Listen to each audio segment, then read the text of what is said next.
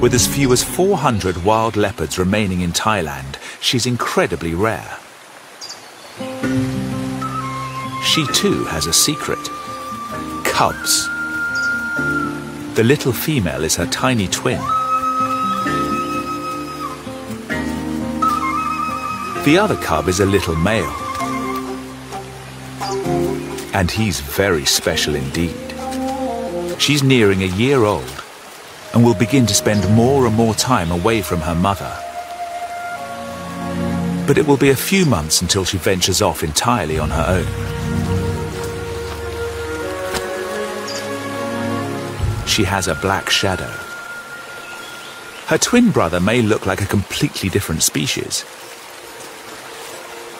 But aside from a rare gene that causes a surplus of pigment in his skin or hair, he's exactly the same as his sister.